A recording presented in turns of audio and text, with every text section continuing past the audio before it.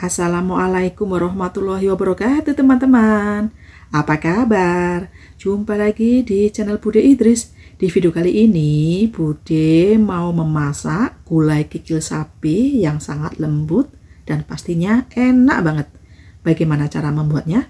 Yuk simak video Bude sampai selesai Pertama-tama didihkan air, beri daun salam, serai, jahe, serta garam. Rempah-rempah ini untuk menghilangkan lendir dan juga bau perengus kikil sapinya. Masukkan 500 gram kikil sapi.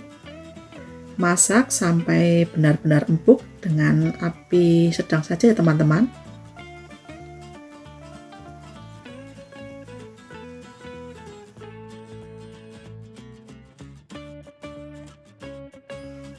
Ini kikil sapinya sudah empuk, angkat dan tiriskan dan siap diolah. Bumbu-bumbunya ada 5 siung bawang merah, 3 siung bawang putih, 3 butir kemiri, 1 ruas jahe, 1 ruas kunyit, sedikit pala, 3 buah cabai merah keriting.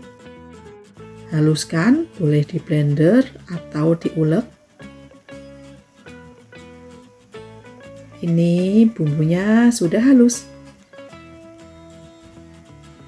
Panaskan minyak goreng sekitar 5 sendok makan.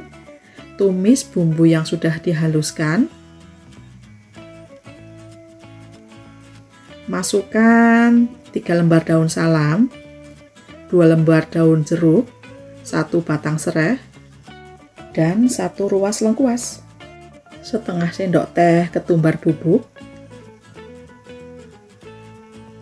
setengah sendok teh lada bubuk, diaduk-aduk, dimasak sampai bau langunya hilang.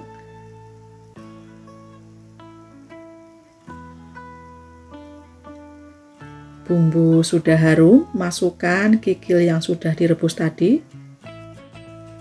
Tambahkan sedikit gula merah 1 sendok teh garam, 1 sendok teh kaldu bubuk, diaduk-aduk. Ini garamnya tidak terlalu banyak ya teman-teman karena tadi kikilnya sudah agak asin pas direbus. Masukkan air secukupnya sampai terendam semua kikil sapinya.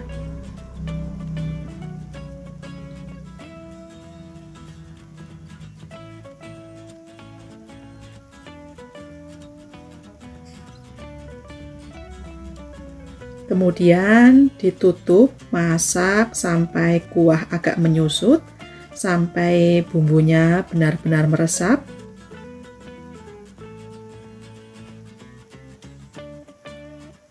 Ini kikilnya sudah matang, masukkan satu bungkus santan instan.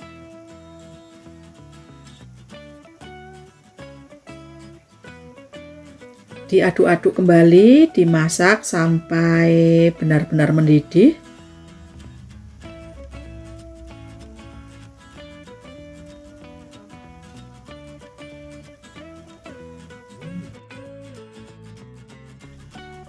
Kemudian jangan lupa koreksi rasa apa yang masih kurang.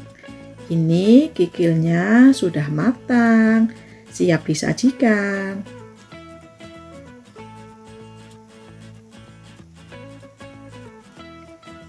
Gulai kikilnya sangat lembut dan pastinya enak banget.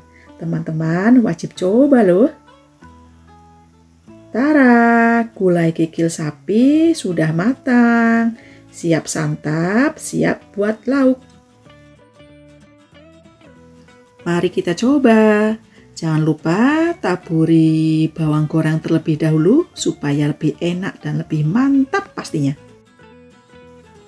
Bismillahirrahmanirrahim. Jangan lupa berdoa sebelum makan teman-teman.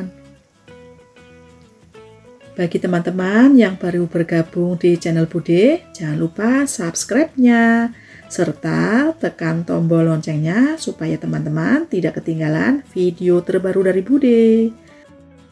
Sampai jumpa lagi di resep Bude berikutnya. Wassalamualaikum warahmatullahi wabarakatuh. Selamat mencoba.